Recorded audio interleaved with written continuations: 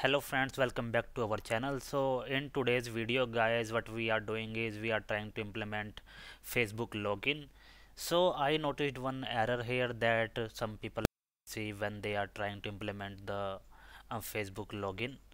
So i have added the client id client secret and the redirect url as you can see here.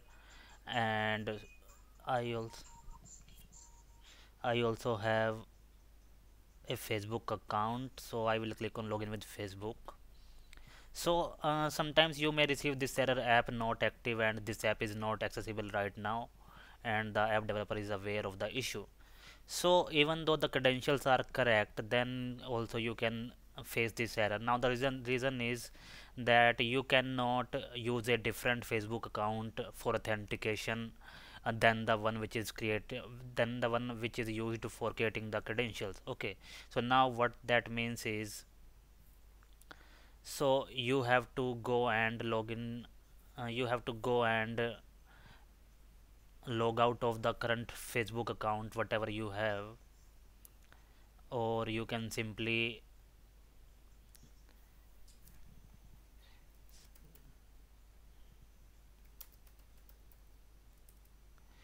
go and log in to Facebook developers.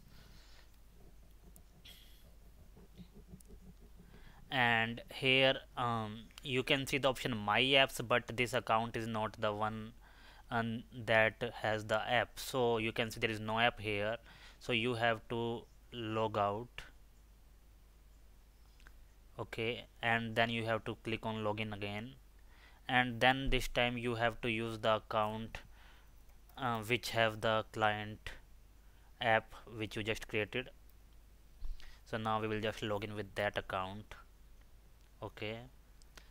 So you can see that it is now logging into the account. So now this is the business account that I have and so now I will again try to log in into that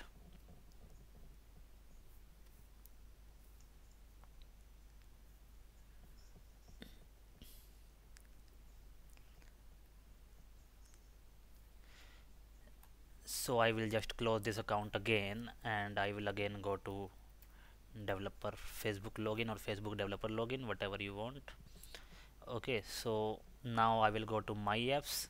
So this is the new account that I logged in and it have the uh, apps which I am using uh, in the Facebook login code. So you can see the client ID here and uh, the client secret. So these are related to the app uh, this one you can see here.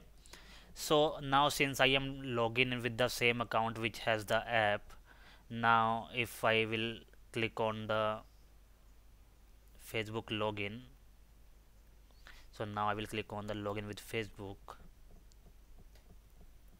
So you can see since I have the same account now it has reached to the code part where it is about to get the information of the user